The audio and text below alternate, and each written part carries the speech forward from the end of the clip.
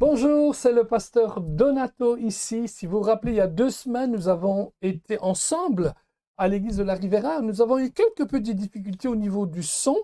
Euh, probablement euh, deux problèmes importants. Un, problème technique. Euh, la technique, vous savez, c'est pas parfait. Deux, certainement aussi un acharnement de l'ennemi pour essayer d'empêcher de faire passer le message que le Seigneur avait à donner.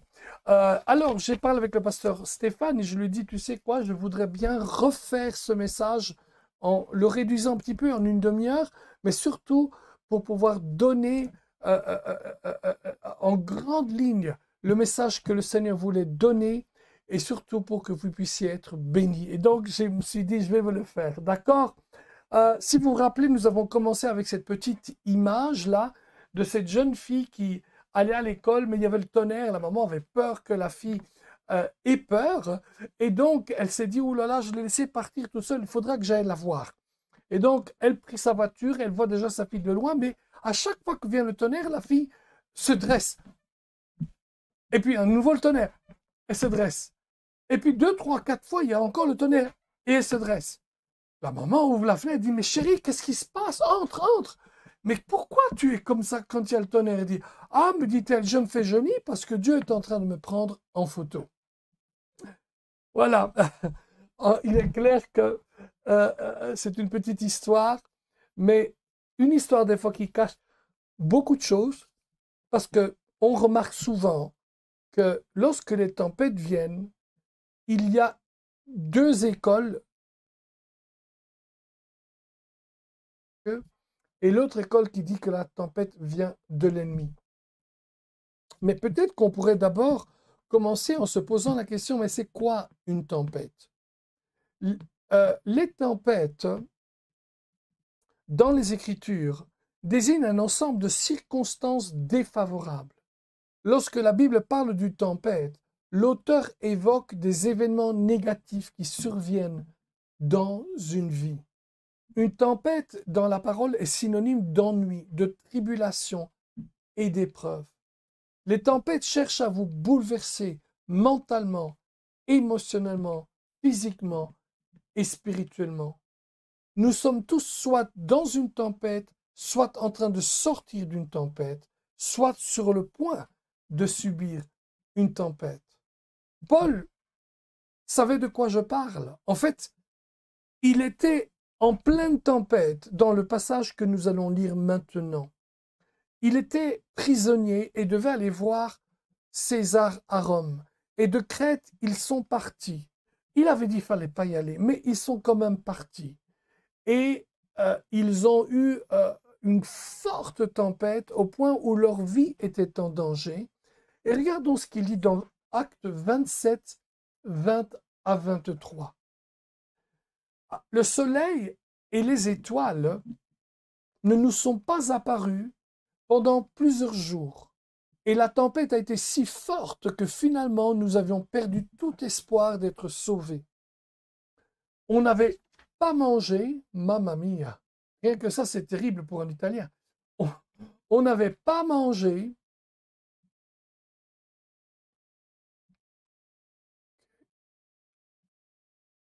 OK. On n'avait pas mangé depuis longtemps. Alors Paul debout au milieu d'eux leur dit, Mes amis, il aurait fallu m'écouter et ne pas quitter la crête afin d'éviter ces dommages et ces pertes. Mais, dit-il, maintenant,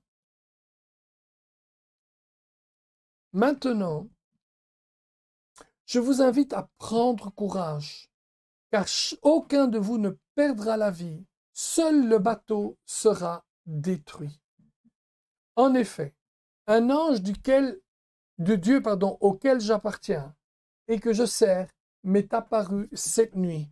Et ensuite, l'apôtre Paul, vous avez le temps de le lire vous-même, c'est mieux. C'est acte 20, 27, pardon. Ben, lisez tout le chapitre, hein, parce que on peut voir, en tout cas, du verset 9 à 31. Amen. Euh, l'apôtre Paul, en tant que citoyen romain, persécuté euh, pour sa foi, euh, a fait appel à César. Il était prisonnier et se dirigeait vers Rome. Beaucoup d'entre nous voient une difficulté dans chaque opportunité. Mais Paul voyait une opportunité dans chaque difficulté. Il avait été emprisonné. Déjà dans Acte 16, avec Silas à minuit, lorsqu'il était minuit dans sa vie, ils ont commencé à louer l'Éternel. Dans Acte 26, il était prisonnier déjà et il rend témoignage au roi Agrippa. Lorsque il était en prison dans, et qu'il écrit sa lettre à Philippe, euh, je sais pas pour vous, mais moi, si je devais être en prison, la première chose que j'écrirais, c'est Please, s'il vous plaît, faites-moi sortir de cette prison. Je veux partir de cette prison. Mais il a dit non. Je veux que vous sachiez que mes chaînes ont contribué à l'avancement de l'évangile, au point que personne dans le prétoire ne peut ignorer que je suis dans les chaînes, non pas parce que je suis mauvais, mais parce que je prêche Jésus-Christ. Amen. Il dit en plus de cela, même les frères sont encouragés parce que je suis dans les chaînes. Amen. Et donc, euh, euh, il n'a pas spécialement demandé à ce qu'il quitte, euh, se débarrasse de cette tempête, mais certainement il n'a pas dit que Dieu avait envoyé la tempête. En fait, il y a quatre causes fondamentales pour les tempêtes de la vie. On sait que les tempêtes sont parfois causées par des lois naturelles. Il y a une loi qui dit que Dieu envoie le soleil et la pluie aux justes et aux injustes. Donc ceci est une vraie déclaration de loi naturelle. Il y a les tempêtes qui sont causées par la propre rébellion. Euh, euh, Jonas 1 et 2 est clair. Lorsque Jonas vient reçoit l'appel de Dieu à aller prêcher à Ninive, on sait qu'il refuse. Et il va au port de Jopé. Le port de Jopé, on peut le dire que c'est le port de la décision. Pourquoi je dis cela? Parce qu'au port de Jopé, Jonas a pris la décision de s'éloigner des païens. Et au même port de Jopé, quelques siècles plus tard, l'apôtre Paul Pierre pardon, a pris la décision d'aller prêcher chez Corneille le païen, c'est-à-dire ceux qui ne faisaient pas partie du pacte avec Dieu. Amen. Donc il descendit au port. Et laissez-moi vous dire ceci. Remarquez la rébellion de Jonas. Et remarquez que beaucoup de tempêtes sont dues à une rébellion personnelle. Une chose est certaine, c'est que la rébellion de Jonas est une vraie descente aux enfers. la Bible dit que Jonas descendit au port, il descendit dans le bateau, il descendit dans la cale du bateau, il descendit dans la profondeur de la mer, il descendit dans le ventre du poisson. Amen. Il n'a fait que descendre. Lorsque nous nous rebellons contre Dieu, la rébellion ne peut apporter que la destruction. En fait, si vous avez l'occasion d'aller voir dans la parole de Dieu, vous verrez qu'à chaque fois, il n'y a aucun événement, aucun récit qui contredit ce que je vous dis. Mais à chaque fois que quelqu'un s'est rebellé, sa fin a toujours été la destruction. La fin de la destruction, c'est toujours, pardon, la fin de la rébellion, c'est toujours la destruction. De plus, ceux qui suivent les rebelles et qui s'allient avec eux, leur fin aussi est la destruction. En ce qui me concerne, mon épouse et moi, nous avons pris une résolution forte il y a quelques années.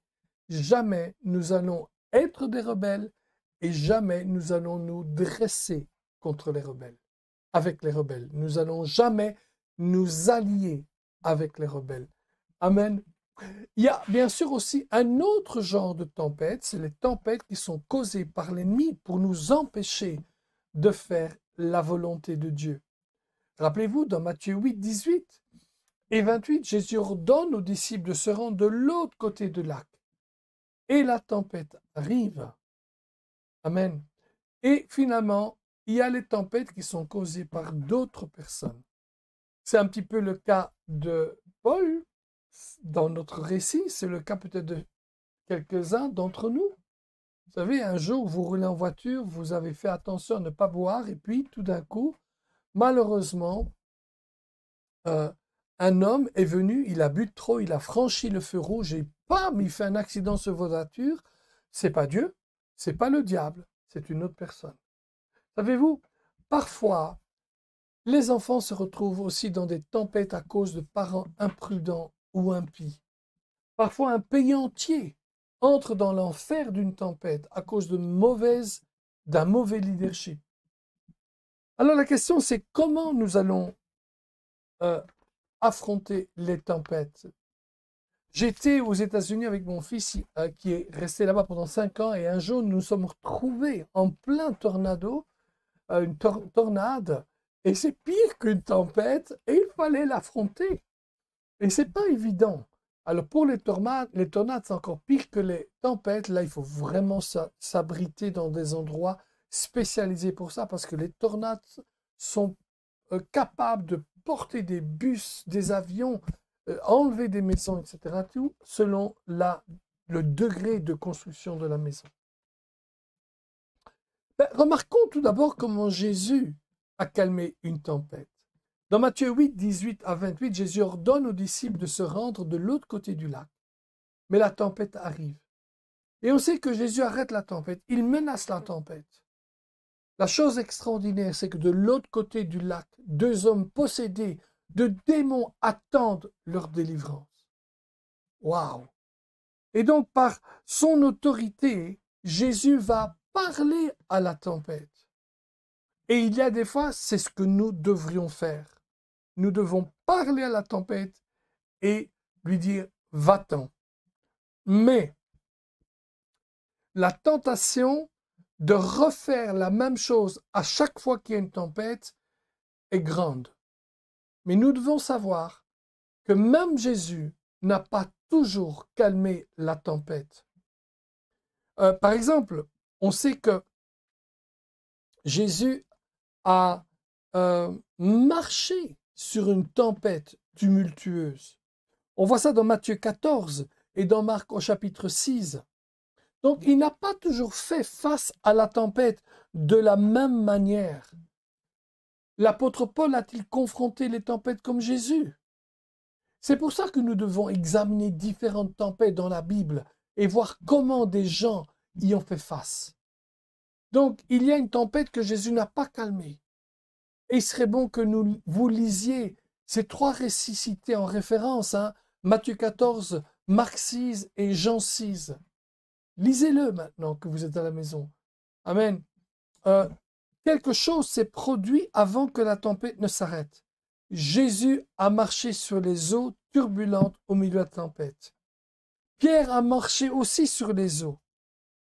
Pierre a eu l'occasion de faire confiance à Jésus d'une manière très spéciale, alors même que la tempête se poursuivait.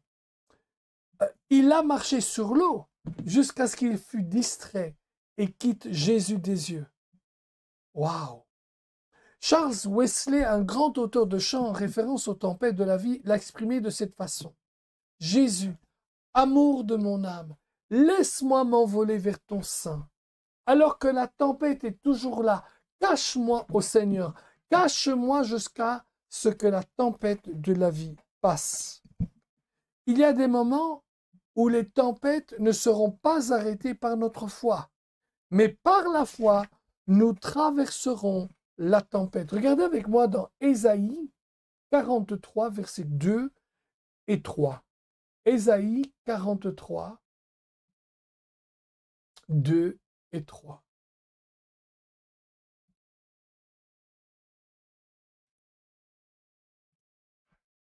Si tu traverses l'eau, euh, je serai avec toi. Et quand tu traverseras les fleuves, ils ne te balayeront pas. Quand tu marcheras dans le feu, tu ne seras pas brûlé. Les flammes ne t'embronzeront pas. Waouh, 42. On peut aller plus loin. Hein. Il dit ceci En effet, je suis l'Éternel ton Dieu, le Saint d'Israël, ton, ton sauveur, etc., etc. Amen. Et donc, il dit, ils ne te submergeront pas. Waouh! Il y a un moment où le miracle, ce n'est pas le fait d'arrêter la tempête, mais de la traverser tout en accomplissant les desseins de Dieu pour nos vies.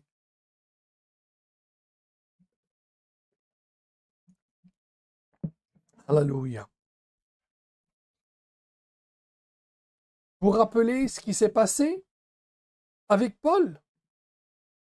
Paul va, il ne va pas arrêter la tempête, mais il va endurer la tempête.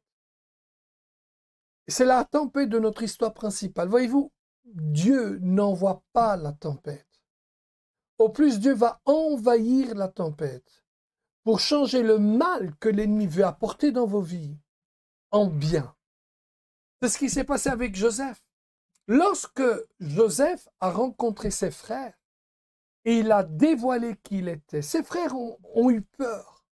Et il les rassure. Il dit, ce n'est pas vous qui m'avez envoyé en Égypte. Par contre, il dit, vous m'avez vendu en esclavage, mais Dieu m'a envoyé en Égypte. En d'autres mots, euh, Joseph n'a pas mis la responsabilité de la vente à l'esclavage de Joseph sur Dieu. Il a mis la responsabilité sur ses frères.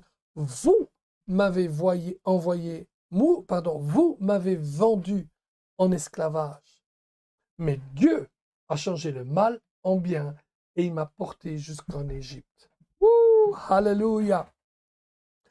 Voyez-vous, c'est là que Paul se trouve. Il a même reçu dans son esprit que quelque chose de mauvais allait arriver au bateau et il avait exhorté le centurion à ne pas naviguer. Toutefois, le capitaine avait dit, mais vous savez, il y a un bateau et ce bateau, euh, un vent, pardon, et il nous est favorable. Il s'appelle le Roquillon. Écoutez, tout ce qui commence par euro n'est pas toujours bon. Il faut avoir du discernement. Paul avait le discernement. Bien que le vent s'appelait Euroquillon ou certaines versions diront Euraquillon, ce n'était pas un bon vent. Mais il n'y avait plus rien à faire. C'était au-delà des capacités de Paul, parce que ce n'était pas Paul, c'était eux qui voulaient. Paul était prisonnier en transit de la Terre Sainte à Rome pour être jugé devant César. Il avait perçu un danger imminent et il ne pouvait rien faire pour cette situation. Le navire sur lequel il se trouvait a, navigué dans une horrible et puissante tempête qui a duré 14 jours. Peut-être qu'aujourd'hui même, vous êtes dans une tempête depuis peut-être plus que 14 jours. La Bible dit que la terrible tempête fit rage pendant de nombreux jours, éclipsant le soleil et les étoiles, jusqu'à ce qu'enfin tout espoir ait disparu. Et on sait que Paul n'a pas réprimandé la tempête. Pourquoi Paul n'a pas réprimandé la tempête? On peut faire des spéculations. Euh, euh, on peut penser sans fin sur la raison pour laquelle Paul n'a pas simplement réprimandé la tempête comme Jésus l'a fait, et il ne l'a pas fait cesser immédiatement. Cependant, il existe une grande leçon qui implique pas de spéculation, et elle vient du simple étude de ce que Paul a réellement fait. En bref, il a prié avec persévérance et a enduré la tempête. Bien qu'il y ait eu de grandes pertes matérielles, Paul et ceux qui étaient avec lui ont survécu. Même, euh, euh, si le navire lui-même a été détruit dans cette situation.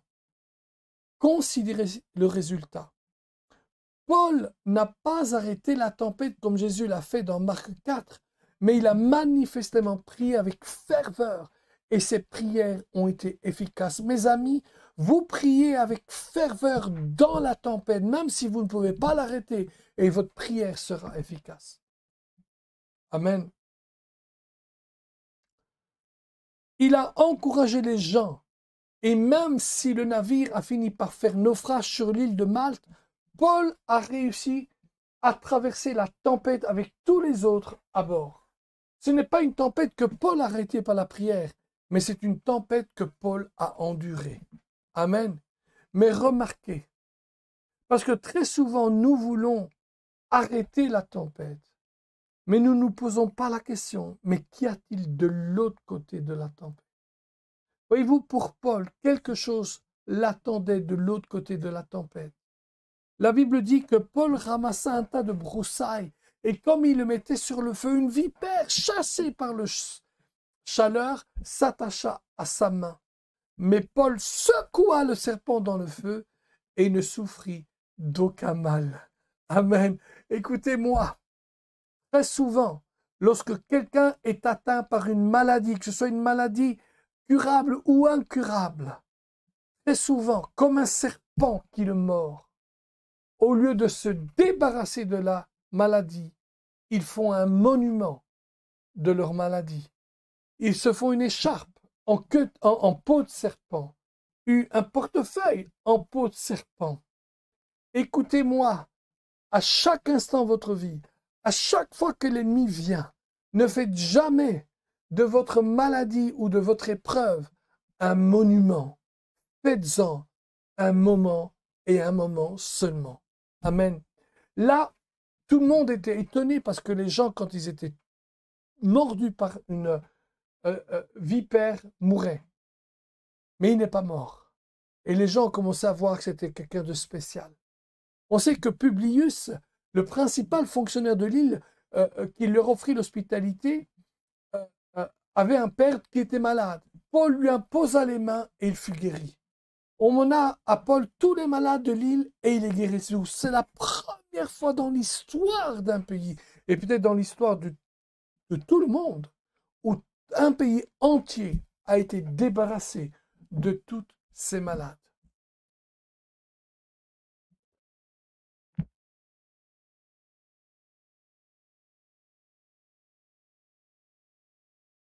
D'empêcher de répondre aux besoins des autres. Voyez-vous, lorsqu'une tempête s'abat sur vous, souvenez-vous que de l'autre côté de la tempête, il y a peut-être des hommes et des femmes qui ont besoin d'être délivrés. Amen. Euh, un jour, j'étais dans une tempête, moi-même avec ma femme, une vraie tempête. Nous étions en train de rouler dans les environs de Naples et nous ne voulions pas rester à Naples, nous voulions descendre vers Salerno, dans le euh, sud de l'Italie, et une tempête vient. Elle était tellement forte, une pluie ensablée, que nous ne voyait plus rien alors que nous roulions sur l'autoroute. C'était tellement dangereux. On ne voyait pas le bout de la voiture. On voyait ni à gauche, ni à droite, ni derrière. On ne savait pas si on devait freiner ou pas freiner. On ne savait pas si on pouvait se mettre sur la bande de sécurité parce qu'on ne savait plus où elle était. C'était mortel. Et euh, ma femme et moi, nous nous sommes mis à prier. J'ai pris autorité. J'ai dit, dans le nom de Jésus, arrête. Et à l'instant même, la tempête s'est arrêtée. Waouh! À l'instant même, la tempête s'est arrêtée et une éclaircie bellissime, très belle, est venue et nous sommes rentrés sains et saufs à destination. Amen. C'était merveilleux. Et j'aurais aimé que ça fonctionne avec toutes les tempêtes. Mais nous avons aussi traversé des tempêtes que nous ne pouvions pas arrêter. Mais nous sommes passés à travers. Et la bonne chose, c'est que nous sommes en sécurité parce que nous étions dans les mains de Jésus. Voyez-vous, si Paul avait pu repousser la tempête dans laquelle il se trouvait, il l'aurait probablement fait. Alors, on va terminer avec ceci, mais euh, les résultats de... Bah, remarquez de nouveau ce passage de Acte 7, 27, 23. Cette nuit, un ange du Dieu auquel j'appartiens et que je sers s'est tenu à côté de moi. Voyez-vous, ce n'était pas le plan de Dieu qu'il navigue, mais cela n'a pas arrêté son plan ultime de se réaliser. L'ange dit au verset 11, il faut aussi que tu rentres. Pardon. Euh, Dieu avait dit, il faut aussi que tu rendes témoignage à Rome. Et ensuite, toujours dans le même chapitre, l'ange dira, il, tu iras devant César. Voyez-vous, le père de Publius est guéri et tous les malades de l'île sont guéris. Mes amis, il peut parfois être difficile de comprendre que quelquefois, les choses ne se passent pas exactement comme Dieu le veut. Dieu est souverain, mais dans sa souveraineté, il a donné certaines règles, certaines lois que même lui ne peut plus changer. Mais nous devons réaliser que bien que Dieu soit souverain, Dieu a donné sa souveraineté à d'autres aussi. Mais il a donné à Adam, et Adam l'a perdu. Mais Jésus est venu pour restaurer ce qu'Adam avait perdu. Adam donné cette terre au, au diable, et Jésus est venu restaurer l'homme d'abord, et un jour il restaurera cette terre. Tant que le diable n'est pas encore lié, les plans de Dieu, des fois, peuvent être ralentis des fois, ils ne sont même pas réalisés. Mais une bonne chose est certaine, c'est qu'un jour, et tôt ou tard, le plan de Dieu se réalisera pour ta vie. Amen. Euh, L'Église peut parfois prendre de mauvaises décisions, mais Jésus a dit que même l'enfer ne pouvait pas l'arrêter. Il dit, les portes de l'enfer ne prévaudront point contre elle. Et dans Ésaïe 14, 24, il est dit que oui, tout se passera comme je l'ai projeté, ce que j'ai décidé s'accomplira. Et ça, je crois que c'est important pour nous de réaliser, on va arrêter là. C'est que quelquefois, Dieu ne peut pas empêcher que nous passions à travers une tempête, mais personne ne peut empêcher le plan de Dieu. Hallelujah. À chaque fois qu'une tempête vient dans votre vie, pensez à cela. Quelle est la question que vous devriez faire? Demandez-vous, dois-je la repousser maintenant, comme le Seigneur l'a fait? Dois-je simplement faire confiance au Seigneur et le laisser me guider comme il l'a fait avec Pierre? Dois-je attendre patiemment dans la tempête en sachant que quelqu'un attend sa délivrance de l'autre côté de la tempête? Dans toute situation, mes amis, nous devrons toujours marcher dans la foi et avoir confiance que les plans de Dieu se réaliseront, pardon, se réaliseront quoi qu'il arrive. Amen. Laissez-moi terminer par cette petite illustration.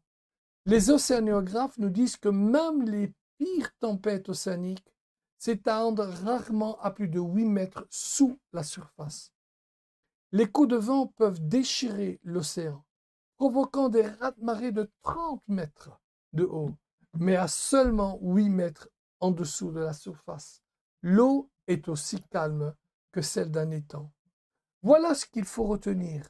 Le seul endroit où vous trouverez la paix au milieu de la tempête de la vie, c'est à travers une expérience profonde avec Dieu, dans une intimité profonde avec lui et avec sa parole.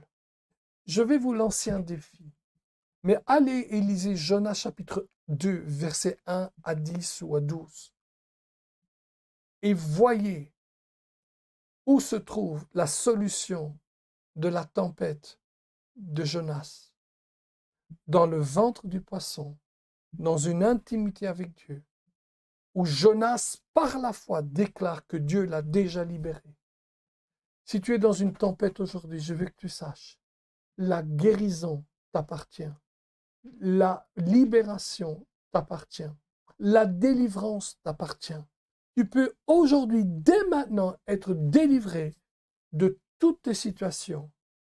Si par la foi, tu fais comme Jonas et tu commences à déclarer cette délivrance de ta tempête. Amen. Seigneur, je te prie pour mes frères, quels qu'ils soient, où qu'ils soient, ceux qui sont dans une tempête, je te prie de les aider à savoir ce qu'ils doivent faire la chasser, euh, endurer, euh, se reposer en toi, bien sûr, savoir s'il faut simplement être attendre patiemment ou la subir. Mais une chose est certaine, Père, quand on est en toi, plus aucune tempête ne peut vraiment nous affecter. Alors tu les bénis et tu les aides, Seigneur. Je vois ceux qui sont malades, je vois ceux qui ont des difficultés financières, je vois ceux qui ont des difficultés au niveau de choses de la vie d'événements de la vie, des tempêtes. Mais Dieu dit, je suis avec vous, et je vous soulève, et je vous soutiens de ma droite triomphante. Soyez bénis, et à bientôt. Amen.